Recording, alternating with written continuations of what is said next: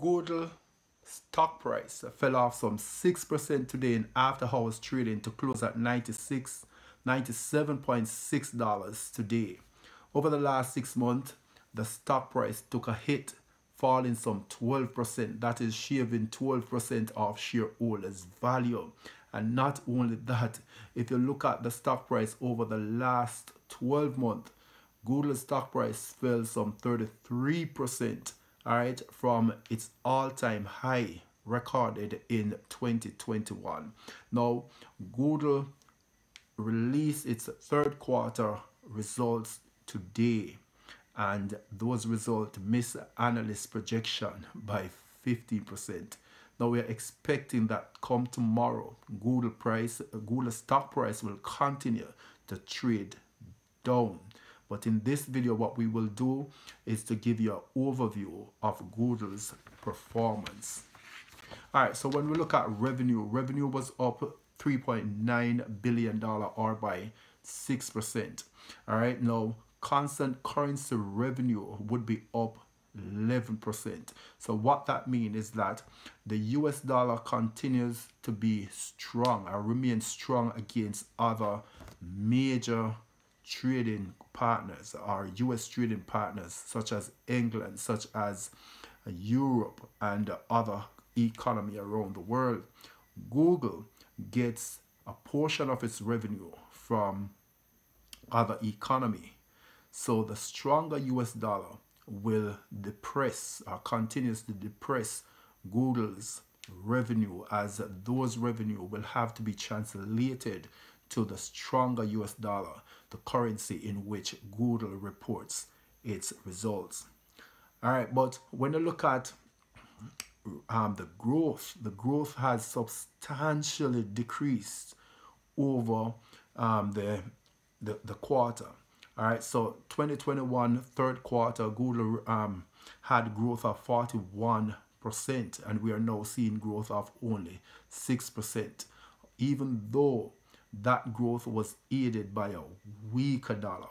All right, we're saying that going forward, we are seeing Google revenue increasing as the dollar weakens as we're expecting that the dollar supposed to normalize against other currencies all right other world currencies so that is our expectation that as the dollar weaken that will aid google um, performance going forward now if we break out the revenue we're seeing where Google search remains the largest part of Google's revenue, and that increased a modest 4%, not robust.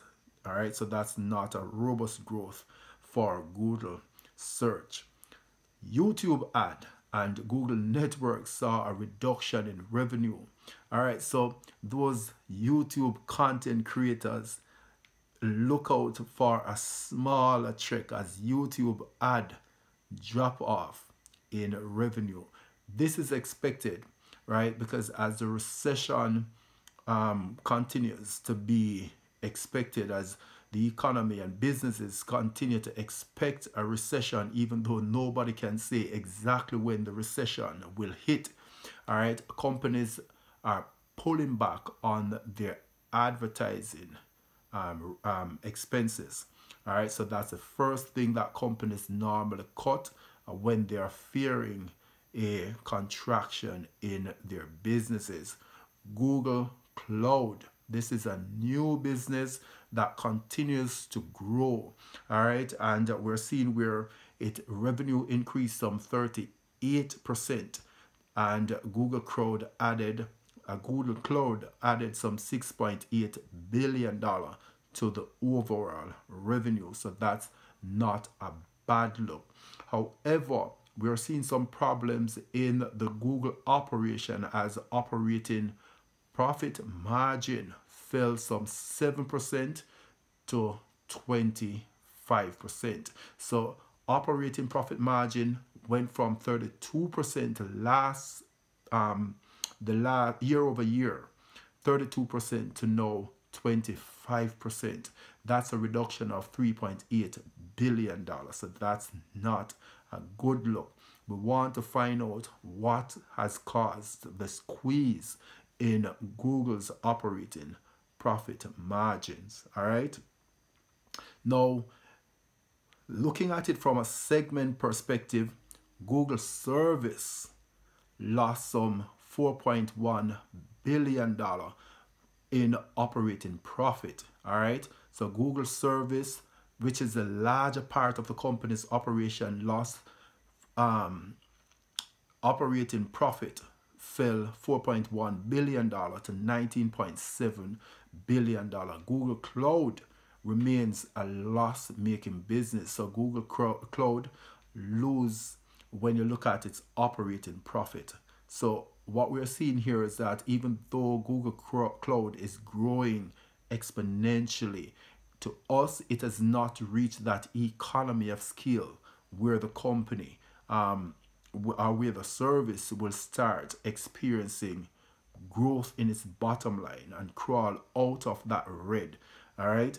So it needs to reach an economy of scale where it will become far more efficient than it is now. So we are continuing to watch the growth in that service. All right. But what we are seeing that caused the fall off in operating profit is the expense that the company is facing. Now, as you know, inflation continues to be a problem right across the world. It is affecting the US. The Federal Reserve is aggressive and continues to be aggressive. All right. And we're seeing where this inflation monster is impacting, is eating away at Google's profit. All right, so total expense was up at $7.8 billion. The cost of revenue was up at 3.5 $5 billion. So most of that expense, total expense, was because of the cost of revenue. All right, so you can see where inflation is impacting the company's profit. All right, so it is the cost of revenue that is pulling at the company's operating profit. Now, R&D expense is shine a little bit of light on the Google's operation so it's not all doom and gloom. All right? So r&d expense increased by six um 2.6 billion dollars. All right but how we view r&d expenses that it's not too um bad a thing all right so even though google is expensing google is doing research and development now and expensing those um, money now we're expecting that in the near future or in the future, um, these R&D expenses um, supposed to churn out some more profit and some more revenue for Google. All right, so this is a good look. This is telling us that the future will be a bit brighter as these R&D expenses start bearing fruit. All right, one other thing that I don't want to leave out of the operation, I mean the operating profit, I need to say this, is that Google experienced some paper losses in its operating expense. So these are some of the reasons why operating expense fell off all right so if you look at and this the falling off of our operating um, expense a quarter of the fall off in operating expenses due to the paper losses what do we call paper losses. Paper losses is the reduction in the bonds that the company invests in is the reduction in the equity that the company invests in. Now as a central bank continues the federal reserve continues to increase um, interest rate. And we see where the the Fed is the most aggressive central bank when it comes on to increasing its policy rate. As the Fed increase the policy rate, the bond price fall off. All right, and that is affecting the investment that Google has in the bonds. All right. And also, you can see where the US stock market is tanking out. All right. So the US stock market is in a tailspin right now, and that is affecting the company's investment in equity in the stock market. So the bond fell off some 731 million dollar, whereas equity investment fell off 647 million dollars. But these are paper losses. This are uh, these are not real losses like real money. All right. So as the economy turns around, and nobody knows how long this will take to turn around, but as the economy turn around, sorry, these investment will recover from these losses and they will be um, profit to Google. All right, so what we want to do now, if you look at net profit, it's a bad look. Net profit fell off some 26%. Um, that fell to $13 billion coming from $18.9 billion. Not a good look. However, as I said, there are a lot of paper losses in Google's operation. All right, so what we want to do is to just go right to the cash flow to look at how the company operated as it relates to cash flow, the amount of cash flow that the company generated. Now, cash flow came in at $23 billion, and that is cash flow from operation. Now, we're saying that the company netted only $13 billion, but the cash that the company collected from operation was 23 billion dollar and the free cash flow this is what falls to investors all right was 16 billion dollar for the quarter. All right so these are due to the paper losses that google experienced and that is why the cash flows are greater than the net profit. All right so it's a good look for google.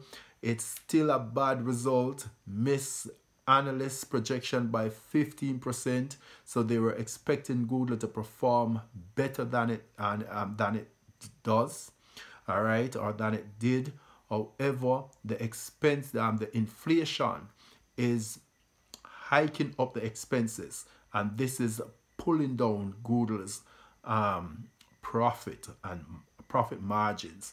All right, so the inflation, how the Federal Reserve will continue to fight inflation will be important all right will give us an indication of how google will continue to perform because it is, it is the inflation that is impacting the company's result it's still a bad result, but when you look at it from the cash flow perspective, it is not so bad a result. The company still generates a lot of cash.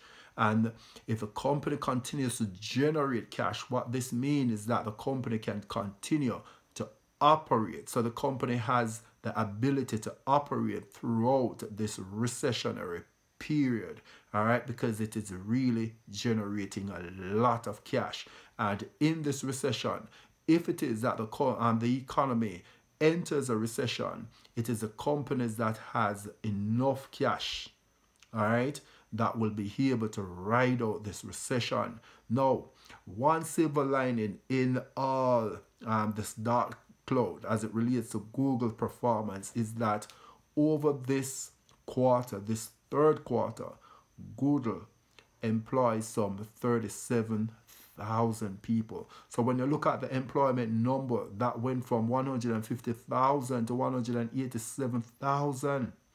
All right. So this is telling something or something about management thinking of the future. What is Google management thinking about the future? They are investing heavily in R&D, some 2.6 billion dollars, and this um, is resulting in them having to employ some 37,000 people just for the third quarter. So even though there's a reduction in the net profit of Google, some 26%, the company is still employing people and is still doing their R&D expenses, what it is that Google is working on. All right. So that is it for Google's performance. We're expecting that tomorrow, when this results seep into the market and soak into the market, we're expecting the stock to trade off some more come tomorrow. Now, as I know a Blu Collar Finance and you don't know how the thing go over here, you know, I may beg my subscribers them for please like the video and for those of you who are see Blu Collar Finance for the first time like the video and subscribe to the channel and me chat to you in the next one